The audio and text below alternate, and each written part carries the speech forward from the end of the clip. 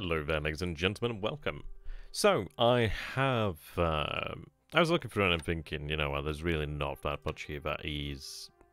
It's one of these of there's just not that much sometimes to stream. So I thought, you know, it's probably better just to do like a summary video. Uh, people will be able to digest it a hell of a lot easier. I think I will be moving towards a different format in the future. We'll see. Uh, obviously, the shape of that will be uh, yet to be determined. Uh, but yep, things are looking well we were quite lucky in regards to the Palembang landings. It does seem as if he does have his carriers down in this area. Uh, these subs will continue to hang around this area. They're going to continue to go south a little bit. I'm going to send... Uh, there's some additional subs. The reason why I'm going to continue south is because I do want to see a rough sort of position. This sub's going to head south. Uh, this sub over here is heading back to refuel... Well, sorry, to be repaired, in fact. Uh, but we do have additional subs that will be heading out this way. So we'll be able to try and get a rough position. I'm going to send these two subs down south, and we'll see if this is actually near the area. We do have a G4M1, so at least we do have a superior amount of naval search out this way. It is an interesting one, really. Uh, we did shoot down a good chunk of aircraft, and I was um in an R and about actually bombarding Palembang with the actual heavy cruisers that we do have here now. And it is very tempting, but I think it's probably worthwhile to hold on. We do have our forces ashore, at least we do have a decent chunk of the forces ashore. We do have another uh, 100 plus assault vow to land here shortly as well. It's going to be interesting. I don't know if it's fortified this. I, I, don't know. There might be unit fortifications. There might be fortifications of some nature. Uh, it's a little bit unclear, really, as to what a Fortress Palembang looks like. So I don't imagine he's gone whole hog. He could have moved more forces in here by now, but he hasn't, so that's fine. Uh, it's probably not going to be easy to take. It is a difficult uh, position to take due to the actual terrain, which is times 3 I thought it was times 4 for some reason, but it's only a urban heavy that's times 4, so uh, yeah. It's probably going to be hard. Uh, I don't see it falling for a couple days, really, to be honest. But we do have these forces that are moving in. They absolutely do need to arrive at Palembang. I mean, the good news is we do have all this additional AV that comes from the actual engineers. There's obviously more to arrive here as well. And so there is additional AV, sorry, additional assault value that we do have access to. Uh, I'm going to have them just remain here for the time being. I do not want them to actually attack. Their fatigue and disruption's okay. But what we'll have to do is just kind of pray for a miracle as far as it goes. We might bombard Palembang, but that is a last... Uh, that should be on... Uh, that should be on service. There we go. That is a... Uh, mm, it, it's not something we want to do. If it takes a while, then okay. We'll just see how we go on. Uh, we do have the luxury of actually having the troops ashore now, which is a good thing. So once they're ashore, then at least we can work with that. Uh, we did have a good level of air cover. Hopefully it will continue. But There is more fatigue this time around. Obviously these forces are a little bit further out. But then again, the fighting was over Palembang anyway, so it's about the same as last time. Uh, but it will give us a severe level of fatigue, really. And the interesting thing is going to be, will he bring his carriers back? If he does, then that's also a good thing, because we are likely to be able to get away tomorrow as well. Uh, it's only this force over here. These forces are likely to unload during the actual night. A thousand or two thousand or, or, something like that of supply is probably enough for the time being. We'll see. As much as we can get unloaded is good. But I think what we'll do then is we'll pull out tomorrow. And uh, go that really. Ideally just pull out quickly and then at least all the shipping is out of the way. And then the troops will have to do the hard fighting. But they'll actually have a supply unloaded shortly to at least be able to do that. I mean, there's uh, a Shaw 131 assault value already. Obviously, it's very much uh, split up here, but we do have obviously the other elements of the 124th Regiment landing shortly. What I will be doing as well is looking to bring additional AV, so we can do that, but there's potential for that. Uh, yeah, so... I imagine he, he was at level 2 fortifications, I think it was. He's likely up to level 3 fortifications right now, which is not too surprising. Uh, it's a difficult one, but eventually he will crack. His forces will eventually crack once we get to a critical mass. And it's a lot of force here. It's just the issue that, well, far too late on it, but hey, can't uh, kick myself over it all the time. Like THG is a good player. He definitely was better when we did start playing. Obviously, a lot of mistakes that I made had allowed this to happen. Uh, but then obviously not to discredit what he did as well. Obviously he did, uh, well, he made the right moves. He made the right decisions to turn Singapore into a uh, fortress, essentially. The difficulty as well is the fact that Singapore does not capitulate, like you would see historically. So it's difficult. We actually have to take the fortress, but it can be done. So it will be done. It will happen. Uh, we do have additional engineers arriving across next turn, so I think I probably will wait for these guys to arrive next turn. Actually, no, they're going to be a little bit longer. Let's see. Um, they would arrive. It might just be worthwhile to attack now, to be fair. Hmm.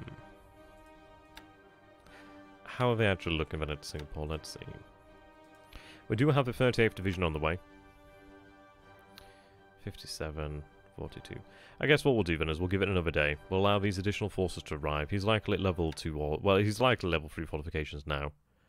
Uh, so I'll give it one more day, then I think we'll order a deliberate attack. The 38th Division is on its way, so we'll give it some time. Attack once more and then give it some time for the 38th to arrive, and then we should be able to finally finish off with a series of successive uh, deliberate attacks, really. And we do have a lot of plan uh, planning. Obviously, we have a Southern Arm in there. We have two headquarters. Eventually, it will fall. Eventually, he will lose a a critical amount of troops to just not be able to hold on anymore. So that's good. In the meantime, we have managed to actually get forces over here, so they will arrive at Banjarmasin tomorrow. So we'll actually be able to make uh, significant use of Banjarmasin in the near future. We are going to be moving on Java shortly, really. We have the forces in place, it's just going to have to take some time, but it will happen. I may have to fly some supply in here. We do have uh, that ability, which is always a good thing. Some more zeros over here, which are coming online shortly. But yeah, things are going well enough. Ambon is a bit of a shame over here. I might... It might be worthwhile to bombard, but I'm going to bring some artillery support over here to Ambon in the near future, really. Uh, we have our forces still moving in over here towards Cagayan, which isn't going to take too long. Um, yeah, I think what we'll do then is, obviously once Singapore's freed up, obviously we'll conquer Palembang. Then I think what we'll have to do is obviously, it'll be a choice between either taking Rangoon or Java, but Java will have to come first to secure this. But the good news is I'm going to be launching an air defense against Rangoon shortly. So what we'll do then is we'll essentially throw as, as much air power as we can at Rangoon until it is shut down. I was going to land a paratrooper at Port Blair, but I don't know. I think we'll give it a little bit more reconnaissance. I don't know if you could even take that unit, so it might just be poor reconnaissance. So we'll give it a little bit more time. Give it a little bit more time just to see if uh, these guys get some additional preparation, so that's not a bad thing. So we'll just see how it goes. I'll give it another day. There might be something there. I'm just a little bit unsure of this moment in time. It seems kind of funky that there's nothing there. So I don't know if that unit's restricted. That's the thing. In China, we have our forces moving down this way, which is fine. Uh, obviously, these forces moving to the north. We do have the Chinese forces that moved into Nanyang. The good news is he will have to attack Nanyang next turn to take the base. So at least we'll actually get a sense of what his actual AV looks like, which is very good. Our forces will continue to move uh, maneuver in the area as well. I mean, we are on a major road here, so it's not going to take too long until actually in Nanyang once again.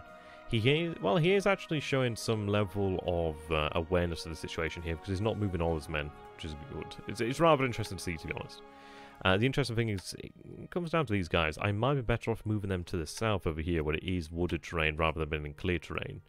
I'm still on the major road, so it's no big deal there. But I don't want to get caught out, so I think I will move them just to the south, one hex to the south. I'll move them in combat mode. Well, actually, no, I'll move them in movement mode. And then at least we can get going there. So we'll have them uh, have them move. Um, which is not too bad. I do have additional forces arriving on the way in the near future, so that's fine. So we'll be able to turn Nanyang into something of a pocket if we're quite lucky. Uh, over here in the Pacific, I have organised a bombardment force. I do have the DMSs actually going in here to clear mines, if, if there are indeed any mines, but not too sure. Uh, I do desperately need to refuel certain ships. There's a lot of ships that have an uneven amount of fuel, but that's fine, we can deal with that.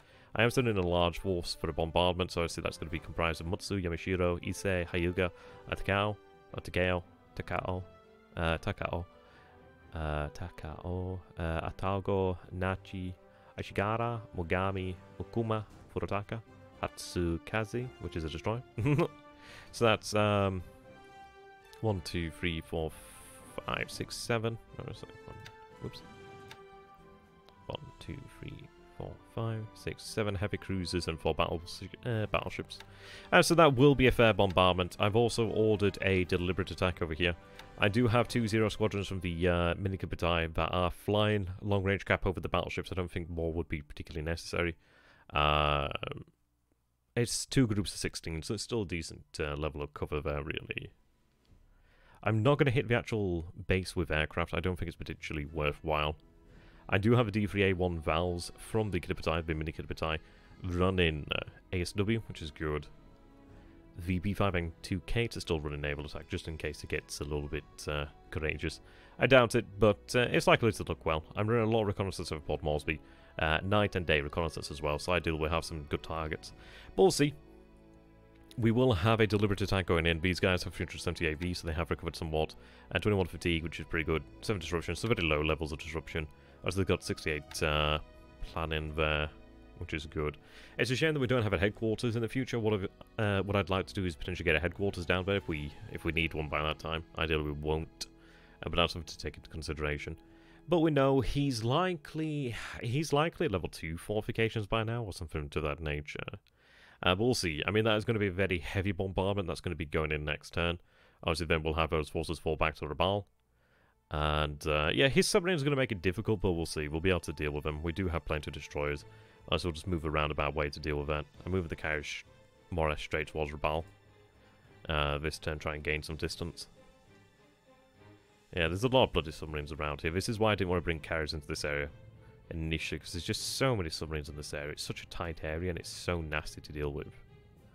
Like, he's got these guys moving west, northeast, uh, east, so obviously those guys are going to be running into us, but we do have a heavy escort. We obviously have a D3A1 Vals.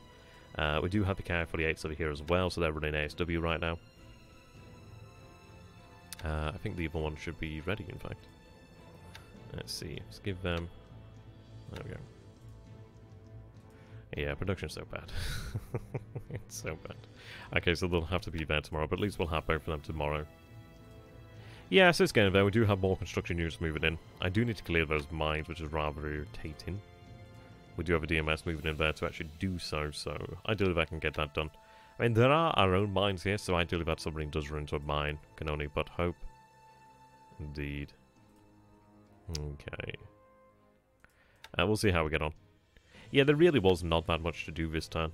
Really not that much to do. Just organise things somewhat. So we'll have to see how it goes. So thank you for watching there, ladies and gentlemen. I hope you guys have enjoyed it. Uh, I'm going to go ahead and save this. Just save it as 91. Yeah, things are starting to get there. I mean, Christ. I just, I just wish we could have obviously had a lot more uh, momentum in the earlier turns. But it takes a lot of like actual experience to be able to learn the game to a degree where you know what you should be doing and really understand why you should be doing it. So, uh, let's say... Um, hmm.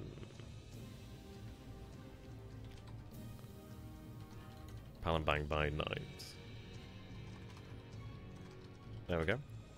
So there we go. Thank you very much for watching there, ladies and gentlemen. Until next time, thank you and goodbye.